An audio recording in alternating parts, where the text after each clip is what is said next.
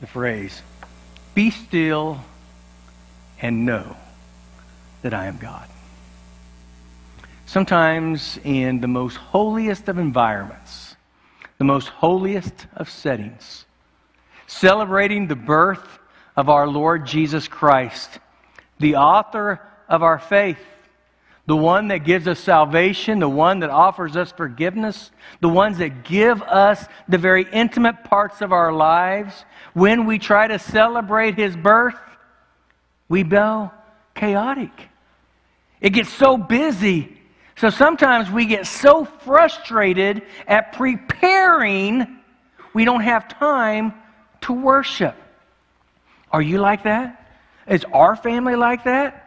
Around the hustle and bustle of Christmas morning and the Christmas events, we get so busy going in debt, doing so many things that we cannot take time and understand that God wants us to worship Him.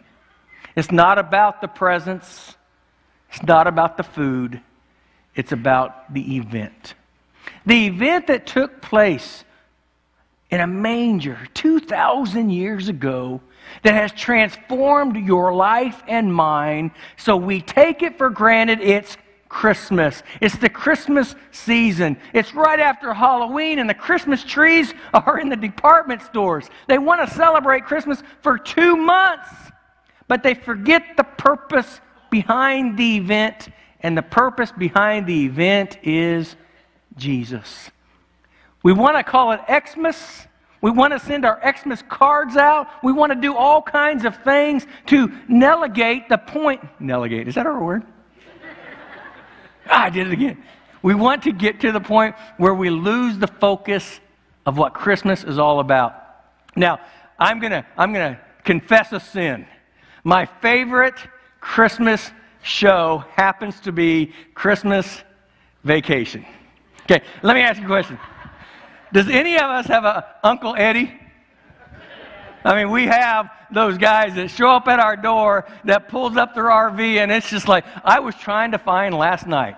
I was trying to find clips of Christmas vacation to show on a Sunday morning church service, and guess what? There aren't any. So it's one of those things that it's funny, but you know what? It's probably not Christmas time, but the event is so true. Clark got so busy wanting to have the Christmas vacation and wanting to have the, the Christmas bonus to put a pool in and have a wonderful time decorating the tree. He gets so busy on the event. It takes catastrophic events before he realizes it's not about the things, it's about the person. And so often, all the way back to the earliest of days, when Jesus was being born, the chaotic events was happening then, and the chaotic events continues to happen now. You know, we can think about those perfect little families that have the perfect little stories. And uh, I read the story between Martha Stewart and another lady. And Martha Stewart was getting ready to tell about her Christmas morning. And this is what she said the perfect delight note is being sent on paper. I made myself to tell you what has been going on. Since it snowed last night, I got up early and made a sled out of an old barn wood and glue. I had painted it in gold leaf, got out of the loom and blanket and preacher and peaches and mauves. Now it's time to start making a placemats and napkins for my 20 breakfast guests. I'm serving over standard. Uh, I'm serving the old standard Stewart 12 course breakfast. But I didn't have time to make the tables and chairs this morning, so I used the ones I already had. I did take time to make the dishes out of the breakfast for the Hungarian clay, which you can get at almost any Hungarian craft store. Well, I must run. I need to finish the buttonholes on the dress I'm wearing for breakfast. I'll get out the sled and drive the notes to the post office as soon as the glue dries on the envelope. I'm making love Martha. And then this story. I'm writing this on a blank of old shopping list. Pay no attention to the coffee and jelly stains. I'm 20 minutes late getting my daughter up from school. Anybody can relate to that? Packing the lunch with one hand and the phone on the other. The old rough, my dog, needs to be bailing out. He got caught out running against in the yard. Burnt my arm on the curling iron when I was trying to make those curly fries. Still can't find the scissors to cut my own snowflakes. Tried to use the old disposable razor, trashed the tablecloths in the process. Tried that cranberry thing, frozen cranberries mushed up after I defrosted it in the microwave. Oh, I don't use fruity pebbles as a substitute for my Rice Krispie snow cakes, unless you happen to like the disgusting grade of green. No smoke alarms is going off. Talk to you later. Love Irma. Sometimes what somebody's perspective of Christmas is the perfect presentation of Christmas is not reality. When we look at the perfect presentation of Christmas, let's look at your home and let's look at mine. Let's not look at what somebody else is doing for Christmas, but let's tie in what Christmas could be through the lens and the focus of not Martha Stewart, but of your life and of mine. What is the priority? Do we come across to a lost and dying world that Christmas is commercialization, or is Christmas Christianity? What is the priority of Christmas? Ebenezer Scrooge said it this way What's Christmas time to you but time of paying bills without money? A time of finding yourself a year older but not an hour richer. If I could work my will, every idiot who goes about with a Merry Christmas on his lips should be boiled with his own pudding and buried with a stake of holly through his heart. Wow, that guy didn't want Christmas, did he? Until his eyes were open and he understood what Christmas is all about. Let's look, if you would, in Matthew chapter 2, verses 13 through 15 at first. There's three things that I want to share with you about Christmas. Christmas is not a stamp. It's not a thing that happens every year, that happens every year the same way, the same way, the same way, the same way. Christmas is evolving. It's evolving because it's the way that you and I handle Christmas is what changes the event.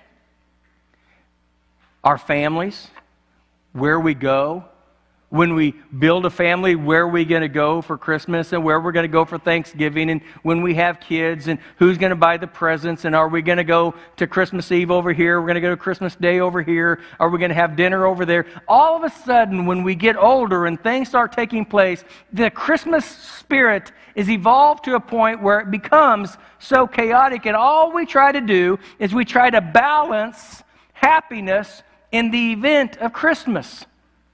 So, Christmas, first thing, can just become a hassle. Christmas can be a hassle. If we do not put a priority on the event of what Jesus has done for us through the birth, then Christmas can really become a hassle. And there's no difference between our hassle and what Jesus had to go through. Listen to this. Now, when they had departed, behold, an angel of the Lord appeared to Joseph in a dream, saying, Arise, take the young child and his mother, flee to Egypt, and there until I would bring word, for Herod will seek the young child to destroy him. When he arose, he took the young child and his mother by night and departed for Egypt. And there was still unto the death of Herod that he might be fulfilled, which he spoke to the Lord through the prophet, saying, Out of Egypt I called my son. Even in the first Christmas, even as a young child, Jesus was hassled. Jesus was hassled to a point where an angel had to confront him and tell him, This is where I need you to go. Hassle. Sometimes in Christmas, we get so bought up with the hustle and the bustle and the hassle of Christmas that we have to look back. Even Mary and Joseph and Jesus had to deal with the hassle of Christmas the moving around, the events. Now, when you look at the hassle of Christmas, you know, and I understand the, you know, the families, and I look at, I look at single moms, and I look at divorcees that are taking care of their kids and how hard it is to get your kids to one place to the next and to have a single mother or a single father trying to take care of the kids and the financial strain on that. And I know how hard it is when a, when a wife has lost a husband. And I know that you're taking care of your kids and, and you're looking at Christmas and you're looking, Christmas becomes not an event to celebrate, sometimes it's a hassle to endure. And sometimes, because it's a hassle to endure, the events of the holiday, the joy of the celebration becomes so much a depression because of the hassle of the event, we lose sight of what the event is about. And sometimes when everybody has the utopia life and we look like the Martha Stewart family and everybody is doing their thing and open up their presents and everybody's having a great time, and right around the corner, sitting in the same church that you sat at on Sunday morning, we see families after families after families that are going through the Christmas hassle instead of the celebration of Christmas. What do we do? What do we do? Do we not have the celebration of Christmas because others are having the hassle of Christmas? I believe it's very important that we understand that people are going through things in the evolution of Christmas within our own families. And I love what people do. I love what people do is they say this very simply, what can I do? The greatest thing that you can do is to share what you do with someone else. To give to somebody else. It doesn't have to be a lot. It doesn't have to be a hundred bucks. It doesn't have to be fifty dollars. It could be looking at somebody's need, and because they are in chaos, and they probably would never tell you they're in chaos, but because of their hassle, just like Jesus, just like Mary, and just like Joseph, they were hassled. But you know, every time that they were hassled, God provided a way. And then, not only the hassle of Christmas, but I believe this is a bigger one. In the chaos of Christmas, the hurt. The hurt of Christmas. The, the hurt of Christmas is when you look in people's lives, the pain, because when you look at an utopia, Martha Stewart life, you can look at that and say, oh, what a wonderful picture of a masterpiece a Christmas could be. But then you look at a row over and you see a husband and wife that just got a divorce, or you see a child that is going through very medical expenses, or you see a lady that her husband just passed away. And they're going to experience Christmas for the very first time with a void sitting right beside them. And when you see that void, the Christmas, although it could be a joyful event, but when you get down to the heart of our life, Christmas is full of pain. It's hard sometimes to see the songs and to hear the joys and understand everything is wonderful and great in their life. But sometimes we want the wonderful and joy in our life. And how do I want to celebrate Christmas with all the hassles that are going on, with all the pain that's deep within my soul that I don't want anybody to know. I want to put the mask, a facade, and everybody think that everything is wonderful and great, that everything's awesome in my life, and I'll buy the Christmas presents and I'll, I'll eat the ham and I'll do whatever I need to do with the smile on my face. But it doesn't do anything with the hurt in my heart. What do we do? Do we act like it doesn't exist? The hassle was there, the hurt was there. An angel went to Joseph and said, Joseph, I need you to do something. I need you to get Jesus into Egypt because Herod is jealous. And when the wise men went back and they, they, they told Herod a lie, Herod's anger came up and against him, and he said, I'm going to kill every baby two years and younger Every baby in Bethlehem, I'm going to die. The hurt. Could you imagine the soldiers coming into the city with the moms and the dads knowing that they have a baby, and when they started looking at that baby, covering that little baby? Could you imagine it? How many of you guys have babies or children two years or younger? Just raise your hand. Two years or younger. And a king says, I'm taking your baby and I'm going to put your child to death. What would you do, Spencer? Would you fight?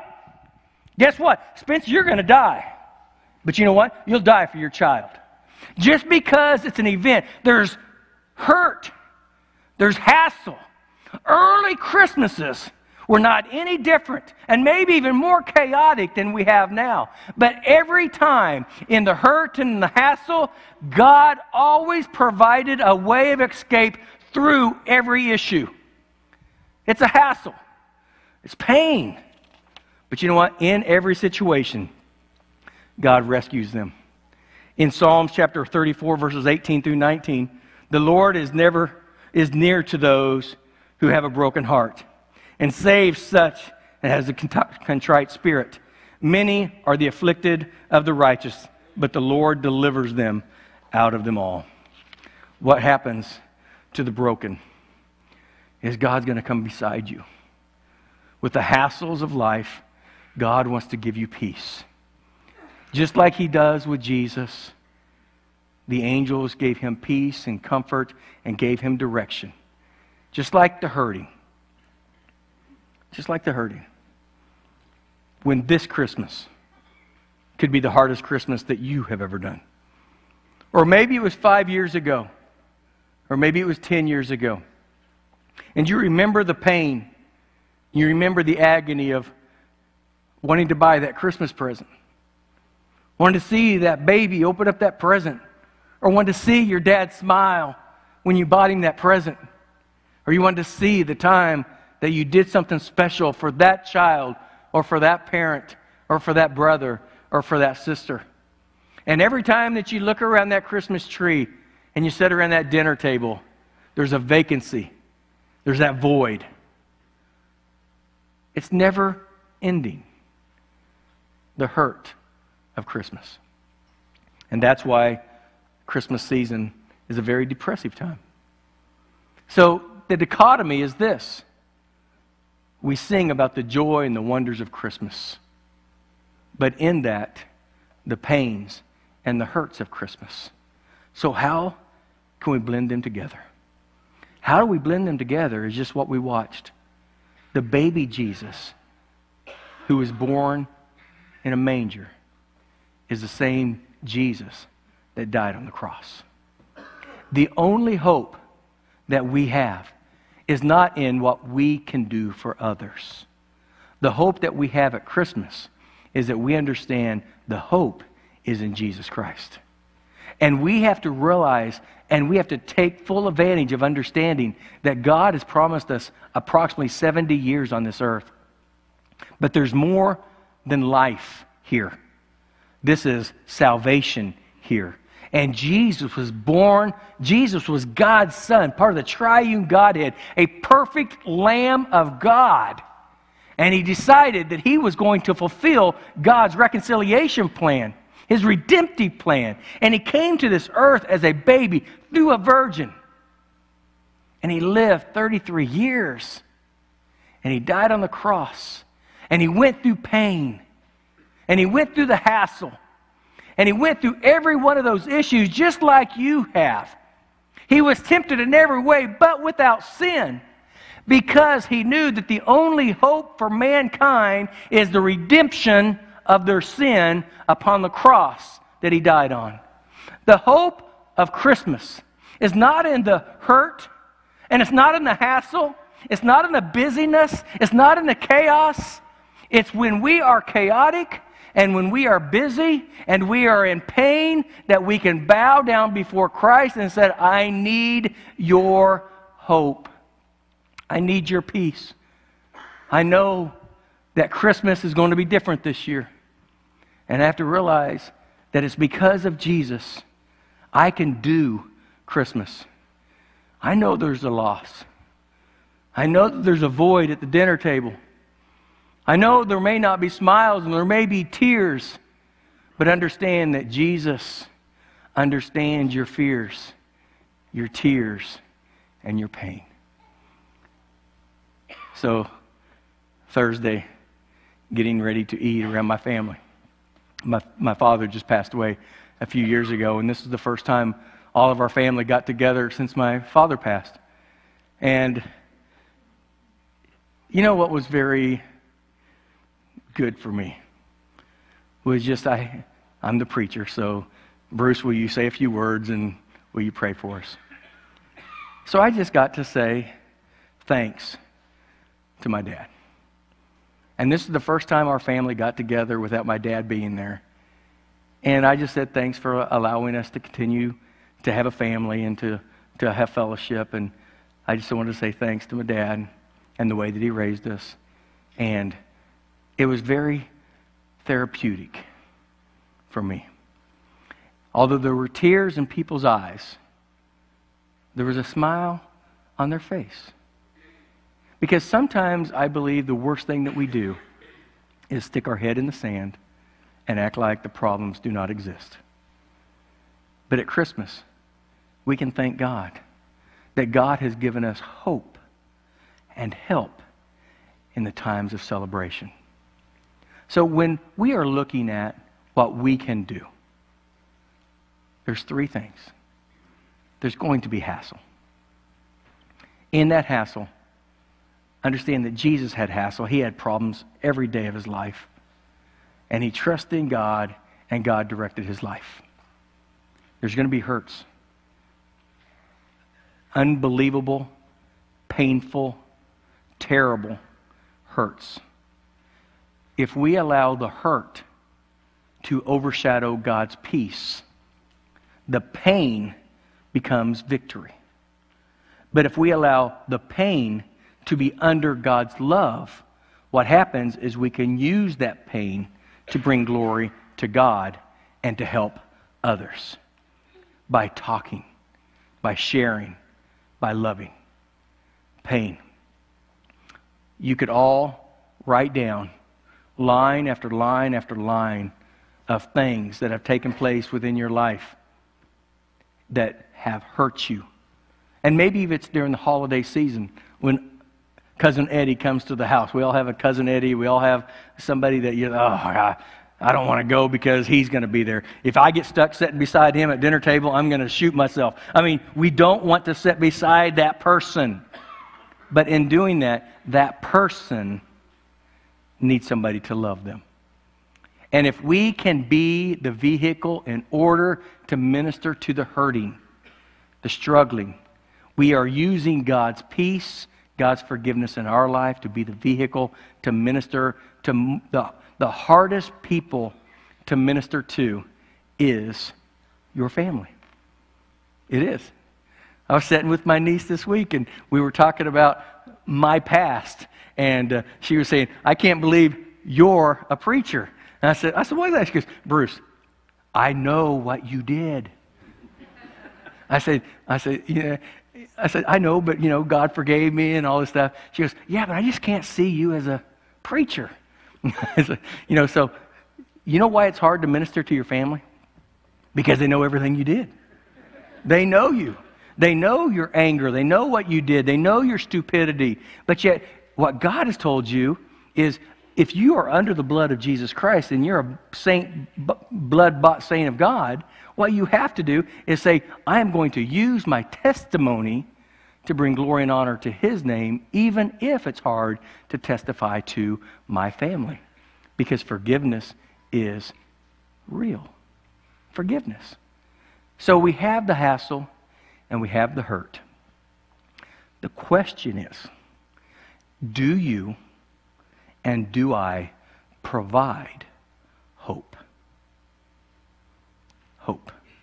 Do we cause chaos or do we deliver hope? Do we calm the environment or do we create the environment?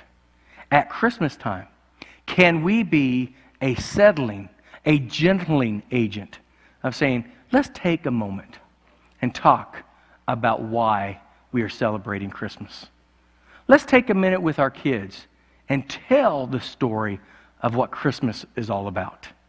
Or is it more presents, more gifts, what we can do, how many things we can go do?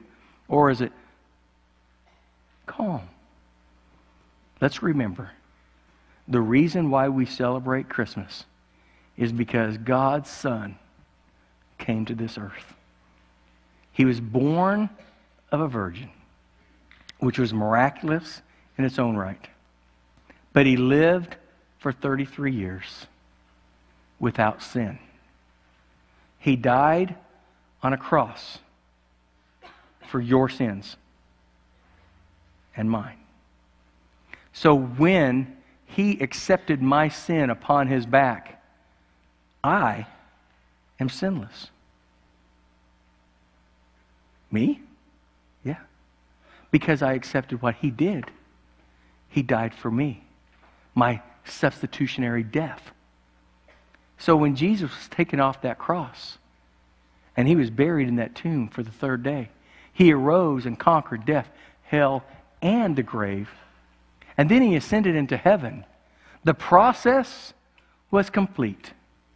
Part of the triune Godhead left heaven, came to this earth, redeemed mankind, now back with the Father. Is Christmas about the presents? Is Christmas about the busyness? Is Christmas about the chaos?